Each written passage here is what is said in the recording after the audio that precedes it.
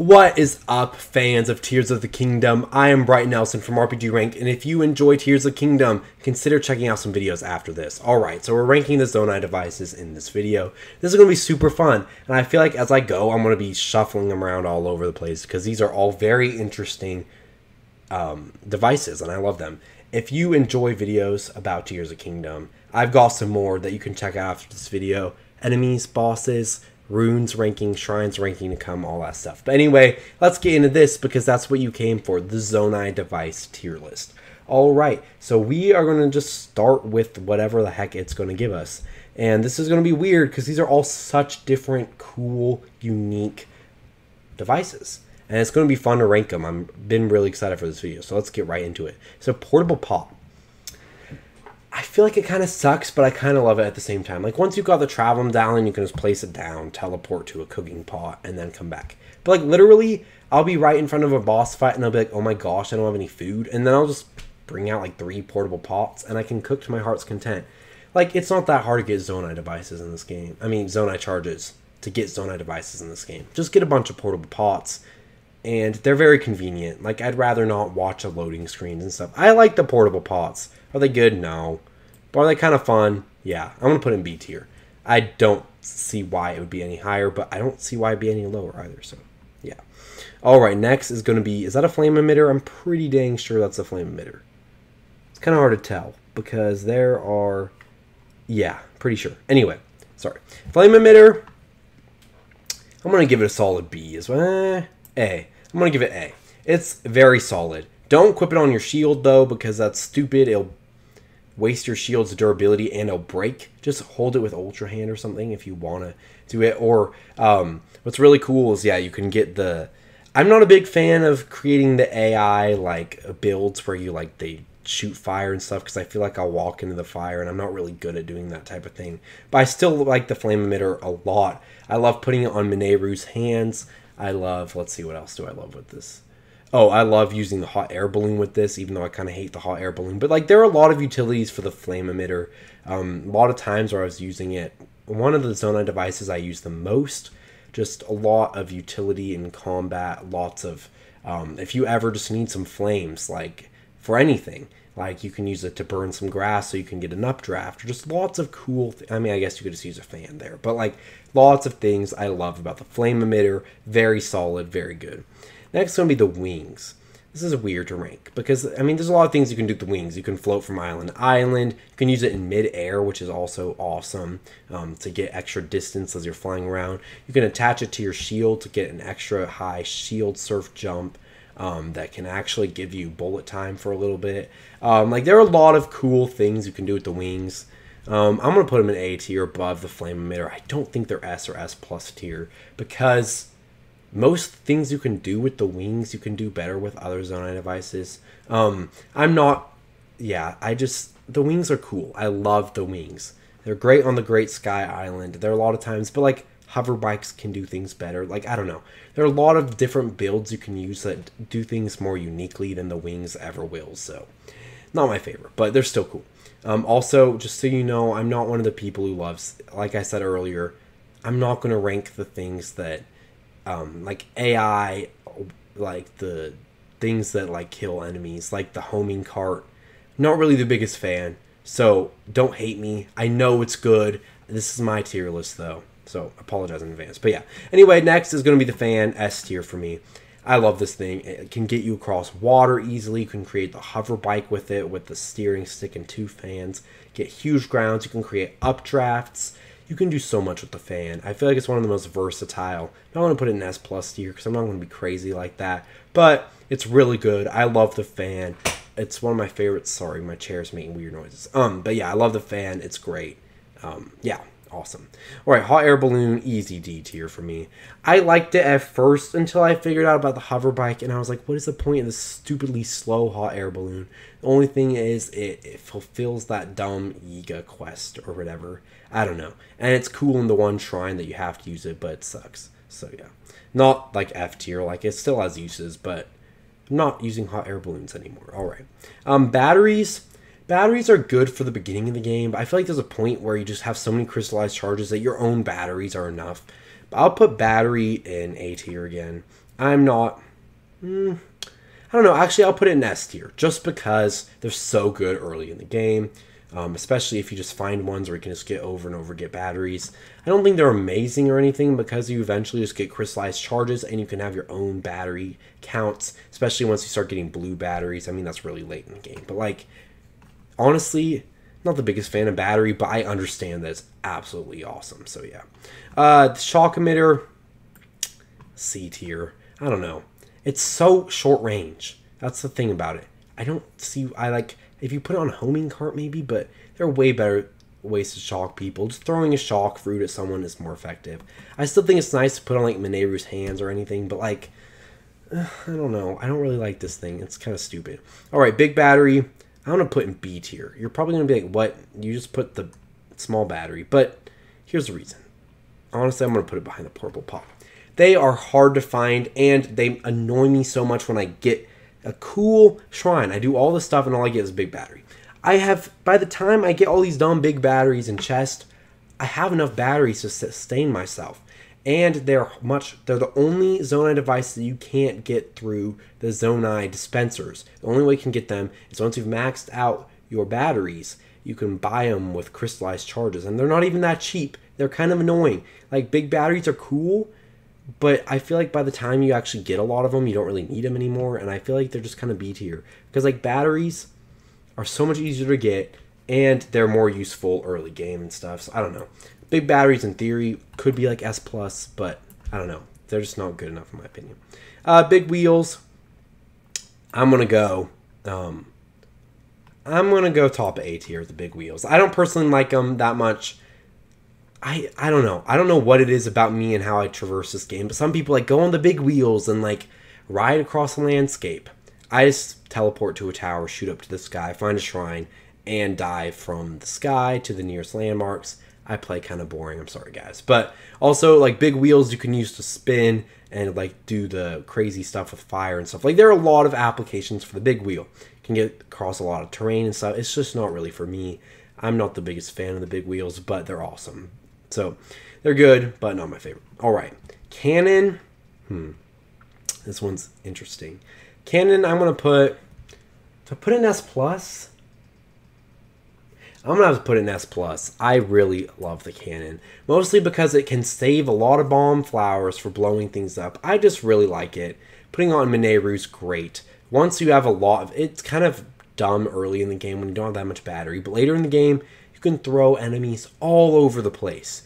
Like, who needs the freaking Yiga abilities when you can just fly? Like, you can send bokoblins flying all over the place, completely turn the tide of battle with the cannons. I love them. I understand that there are better devices, but I love the cannons, okay? You're blowing stuff up. Like, come on. It's a cannon. Okay, anyway. Um, carts. Ugh, D tier. Mm, nope, not D tier. Sorry. I forget you can attach it to your shield. Actually, change my mind. I'm gonna put top of B tier. Carts on the Hylian shield, I like it. I honestly like it. It makes shield surfing such a vibe. I love it. Otherwise, carts are bad. But since I love attaching to my good old Hylian shield, I will put carts in B tier. It's fun. I have a lot of uses for it. Also, same with the sled, but to a worse degree. I'm going to put sled in C tier. I just feel like it's a little, eh, but it's better on water. I don't know. I'll put them next to each other. I'm just going to do that with B tier. They're not my favorite, but they're still good. They're still good. Like you can find good uses for them. So yeah. um, these ones I'm gonna put in. I'm gonna admit, like they're good. I'm gonna put them in. Oh, freak, that's not deserve that. Um, I'm gonna put them in top of A tier. They're not really for me, so I'm not gonna. I'm gonna be honest. They're not my favorite, but um, they are very good. They're just not my thing. Do they deserve to be higher? Probably, but in my opinion, I just don't like them that much. So, Frost Emitter is the easy S tier for me.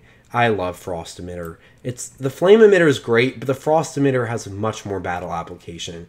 Like with I put Mineru Frost Emitter, and it just changes the tide of battle. It's just freezing enemies all the time, and I just beat them up. It's so easy. When I accidentally get caught in the blast, it's annoying, but I love Frost Emitters. Fire just doesn't do as much as Frost in this game. Like be honest. Don't lie to yourself. Putting someone on fire is not as good as freezing someone. Getting those critical hits in, awesome. Just great. So yeah. okay, this is going to be the most biased freaking pick on this list. I'm putting Hoverstones in S+. plus. You're probably going to be like, what in the stupid heck? You're an idiot. But the amount of things you can do with the Hoverstone is more than you think. You can cheese every puzzle at the Construct Factory. You can cheese all the puzzles in the Fire Temple. Like, you can cheese all the stuff. I know it's not the best thing, but I was kind of just like, kind of done trying to figure out those dumb railroad puzzles and stuff. And I just found a lot more applications for the Hoverstone than I ever thought. This is the most biased pick on this list. This is the stupidest thing I'm putting, but I love Hoverstones. There's something cool about being able to just hover, ascend, get another one, and you can just like make an endless staircase. I don't know.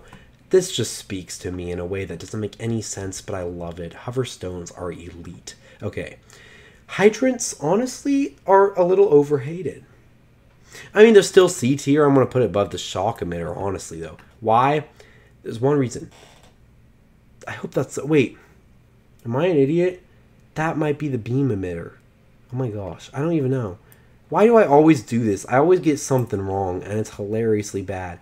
I don't know. Whichever one is the shock emitter, I think that this is the. I think that's the shock emitter. The beam emitter, I'm just going to talk about this really fast. I don't know about the hydrants.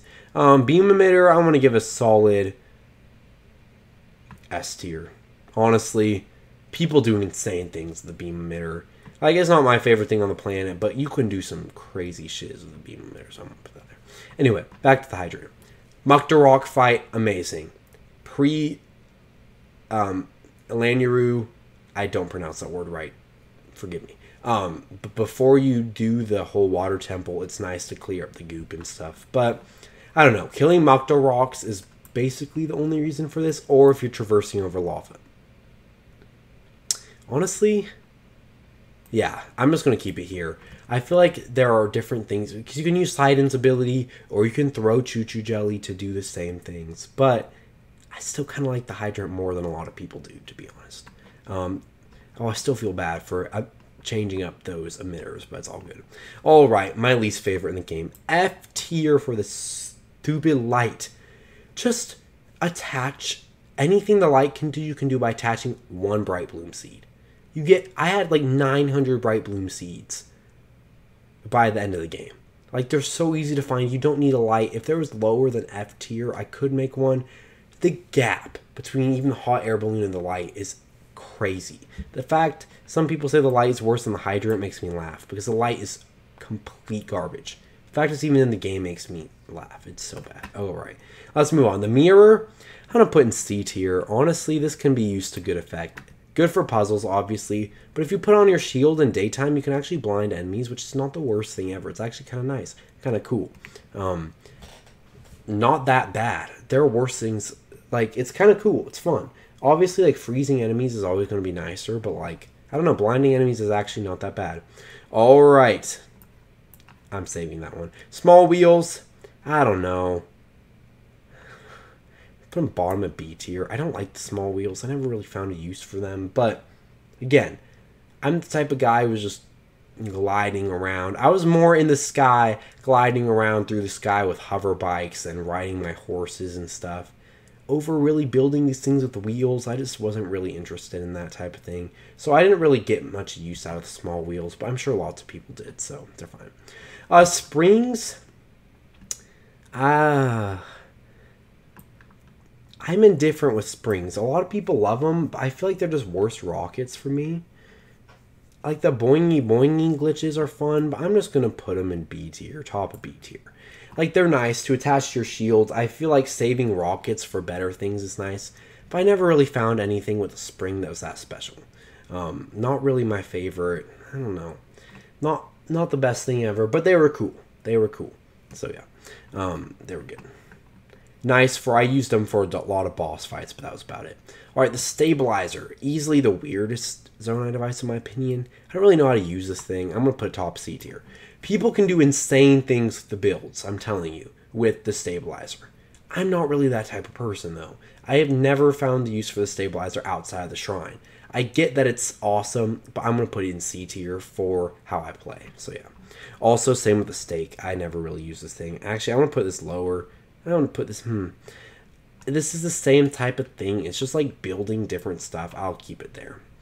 Um, people use the stake to great effect, and it's cool that it can like go through things. I just never really found a great use for this. Like I know a lot of people do, but it wasn't really my thing. All I used it for really was like the baseball shrine. I don't know, it's cool, but kind of mid. All right, steering stick S plus tier. Without this, you wouldn't even be able to build all this crazy stuff because you wouldn't even have control over your devices. Just think about that. That's weird. Like I don't even understand. Like the steering stick is objectively the best Zonai device in the game. No question. Because if you want to make a cool Zonai thing, you need a steering stick. So, yeah. Uh, Time Bomb. I have to go D tier. Honestly, I want to go D tier. At first, I was trying to get into this. I was trying to get into the Time Bomb. I was trying to be like, this is cool. It's like remote bombs. No, it will never replace remote bombs, and it will never replace bomb flowers. It just kind of sucks. There were I just the only reason I ever used this was to save bomb flowers for greater things than blowing up walls. But once I got Yunobo, or the cannon does better than the time bomb. I don't even know what the point of this thing was. If you if you can tell me, comment down below if you can tell me what a really good use of the time bomb is, because I was just not feeling it. All right, my personal favorite Zonai device I'm going to put it below the steering stick still because I feel like that really is the best. But this looks like a weird face. That's kind of funny. Anyway, Rocket will always, forever be my favorite Zonai device. The first time I attached that to my shield, I freaked out. It's so fun. Yes, I know it doesn't last for long enough. If this thing lasted for the amount of battery you had, this would probably actually be the best Zonai device in the game, S++. But it's not that way, unfortunately, but it is still very, very good. I think it's better. I will forever think it's better than the spring for getting height. It's great for pushing forward, pushing upward. The rocket has so many awesome effects. Or throwing a weapon, you can give weapons long throw. I don't know why you would be trying to do that, but hey, maybe, maybe there's a point of that. Um, right before weapon breaks, maybe you want to throw it at long distance. I don't know. I don't see the point, but like there's so many cool things you can do with the rocket. It's so fun. I love it. So suck it. If you don't like the rocket, that's your problem. Thank you guys all for watching this video. Have a fantastic day. Please be sure to check out some other Tears of Kingdom videos that I have already posted or in the future if you enjoy this video. Please leave a like and subscribe. I don't have that many people. I have a lot of returning viewers, surprisingly, but most of them aren't subscribed. So if you could help me out, I could be doing this more. I could make this a more full time thing. So thank you guys all for watching and have a great day. Peace out, Zelda fans.